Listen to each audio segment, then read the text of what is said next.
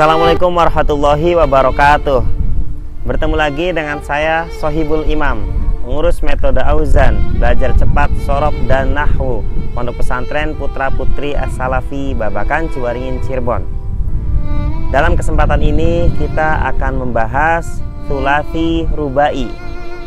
Fi'il thulathi adalah fi'il yang huruf asalnya tiga huruf Baik ada tambahan atau tidak ada tambahan Fi'il rubai adalah fi'il yang huruf asalnya empat huruf. Baik ada tambahan atau tidak ada tambahan. Untuk lebih jelasnya mari kita lihat pada tabel berikut ini. Fi'il sulasi mujarrod Fa'ala nasoro dorba fataha. Fa'ila alima hasiba. Fa'ula hasuna. Fi'il sulasi mazid rubai. Seperti afa'ala akroma. Fa'ala farroha fa'ala qatala.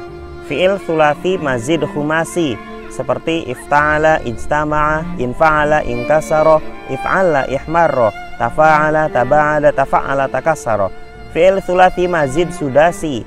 Istaf'ala istakhraja if'awala insyawshaba if'awala i'lawata if'ala ihmarra fi'il rubai mujarrad.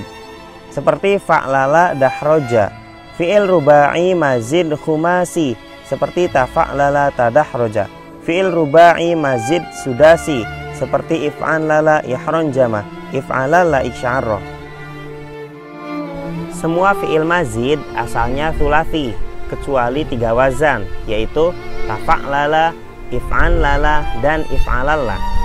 Huruf asal adalah huruf yang letaknya sesuai dengan fa, ain, dan lam seperti contoh pada lafaz ijtama'a wazannya ifta'ala.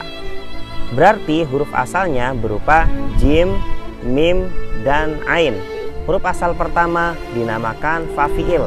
Huruf asal kedua dinamakan ain fi'il dan huruf asal ketiga dinamakan lam fi'il. Sisanya adalah huruf ziyadah atau tambahan yaitu hamzah dan ta. Contoh selanjutnya seperti lafaz ihron jama. Wazannya if'an lala. Berarti huruf asalnya adalah ha, ro, jim, dan mim. Huruf asal pertama dinamakan fa fi'il. Huruf asal kedua dinamakan ain fi'il. Huruf asal ketiga dinamakan lam fi'il awal. Dan huruf asal yang keempat dinamakan lam fi'il tani. Sisanya adalah huruf tambahan yaitu hamzah, dan nun. Baik, dalam pembahasan ini kita cukupkan. Silakan bagi teman-teman barangkali ada yang kurang paham bisa ditanyakan pada kolom komentar di bawah ini.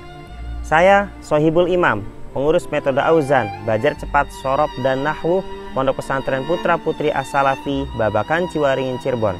Wassalamualaikum warahmatullahi wabarakatuh.